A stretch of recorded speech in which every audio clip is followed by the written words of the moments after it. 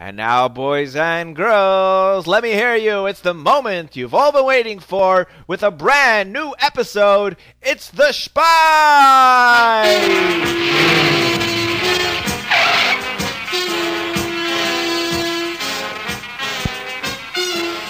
A good spy always has to keep his eyes and ears open because the Yetzer Hara is always trying new tricks to keep us from doing mitzvahs. Monday morning, 7:45 a.m.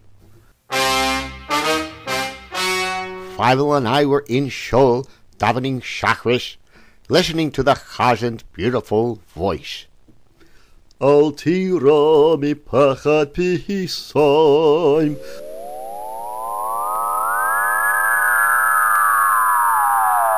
Messias Rishaim Kisavoy, also Vesavis of also, also,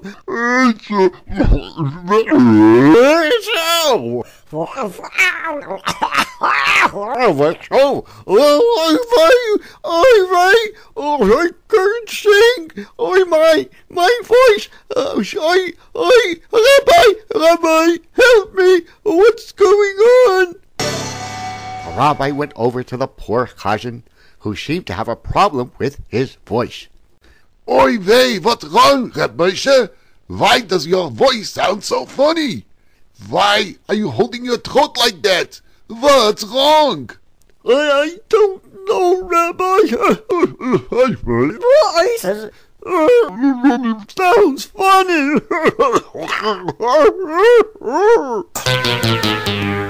The rabbi turned to me.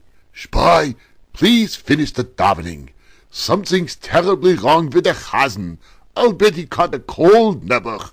Refuah Shalema.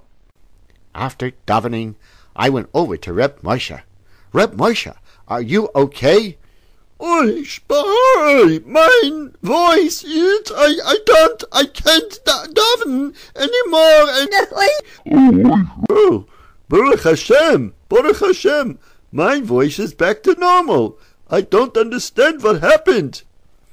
I also don't understand, Reb Moshe. It almost sounded like you have a frog in your throat. A frog can't be, spy. Frogs aren't kosher. Right. Well, how about a sheep? No, spy, it's not a sheep. No? How about a cow?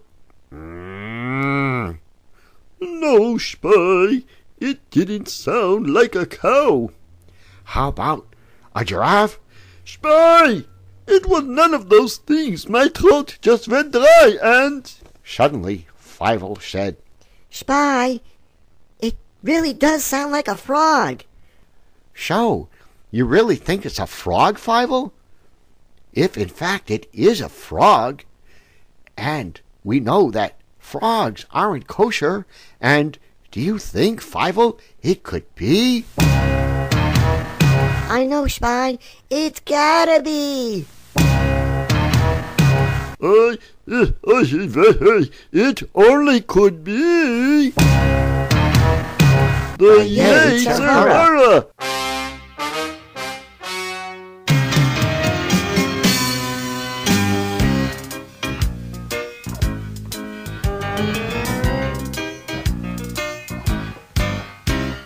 Who tells you not to listen when your mother says it's time to say Shema and go to bed? Who's that voice of trouble in your head? What do you think? That's me.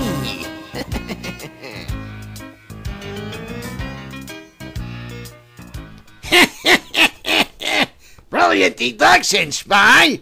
My new dense wave division multiplexing laser beam will mess up the Chazan's voice every time, and then no one will be able to daven with the right kavana in shul anymore. I got the spy real good this time. He'll never get out of this. Hmm, I hummed. If it is the Yetzer Hara, then how could he mix up the Chazan's voice like that? Spy, maybe we can find the answer in our secret laboratory. Maybe Nechama, our chief scientist, can analyze what's going on. Good idea, Fivel.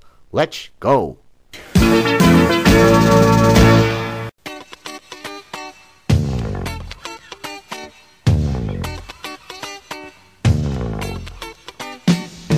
Gather round and listen about a man we call the spy. Because of his adventures, he's a legend in his time. He'll fight the Yetzer Hara at sea or in the sky, and you'll never have to worry when the spy is on your side.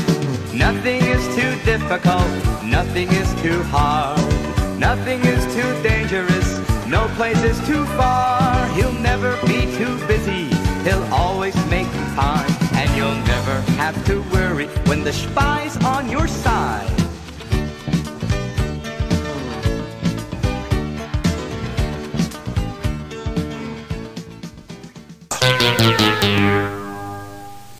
Jumped into the Spymobile and drove to our secret agent laboratory. Inside, the was doing another experiment to try to keep kosher milk from getting spoiled. Spy! Fivel! What are you doing here? Is something wrong? Nechama, we had a problem in Shul this morning. The Chazan's voice. The Chazan lost his voice. It sounded like, It sounded like a frog. So you figured that because it was a frog, and frogs are not kosher, that it had to be the Sahara. right, Nechama, how did you know?